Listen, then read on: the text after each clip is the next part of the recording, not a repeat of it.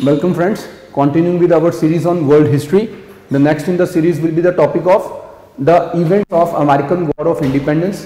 जैसा मैंने आपको पहले बताया था कि इवेंट्स इतने इंपॉर्टेंट नहीं है but we are not going to leave things to chance so इसको भी एक क्विकली रिकॉल कर लेते हैं सिंपल पाँच इवेंट्स हम डिस्कस करेंगे अगर कभी एग्ज़ाम में ऐसा कोई क्वेश्चन आ गया कि कॉजेज और इवेंट्स या इवेंट्स एंड कॉन्सिक्वेंसेज बताओ तो you will be comfortably placed in that case right so the thing started. Yesterday, while talking about the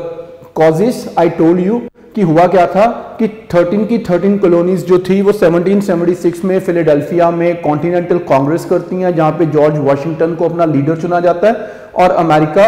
अपने लिए इंडिपेंडेंस डिमांड करता है विद द स्लोगन जो 1775 में आ चुका था फिलेडेल्फिया कांग्रेस में no taxation without representation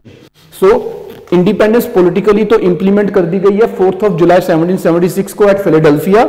इसके बाद ना जब वॉर स्टार्ट हुई ब्रिटेन ने अपनी आर्मी भेजी after declaring America is belligerent और बेलिकोस कि इन्होंने हमारे खिलाफ बगावत कर दी है, लड़ाई छेड़ दी है। अमेरिका बहुत ज़्यादा ब्रिटेन से फौजें आई। इनिशियली जो अमेरिकन हैं, वो इल इक्विप्ड हैं राइट right? उनके पास हथियार नहीं है, वो पूरी तरह से ऑर्गेनाइज नहीं है to face the British army but feeling of nationalism is a very important factor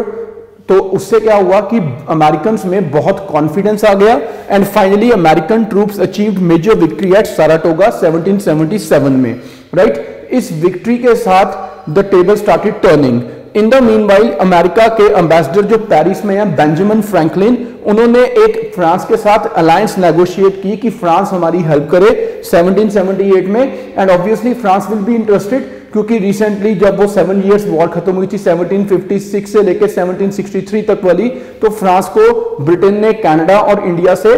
basically उनकी एम्पायर को लिक्विडेट करवाया था। तो France is ready to enter into this war so finally with the help of French naval units France की navy आई और Washington ने British को 1781 में सरेंडर करने पर कंपेल कर दिया और ब्रिटिश आर्मी को लॉर्ड कॉर्नवालिस लीड कर रहे हैं। इसके बाद वो इंडिया आ जाएँगे एज गवर्नर जनरल और यहाँ आकर फिर वो परमानेंट सेटलमेंट ऑफ़ बंगाल भी इंट्रोड्यूस करेंगे, जो हम इंडियन हिस्ट्री वाले टॉपिक्स में डिटेल में डिस्कस करेंगे।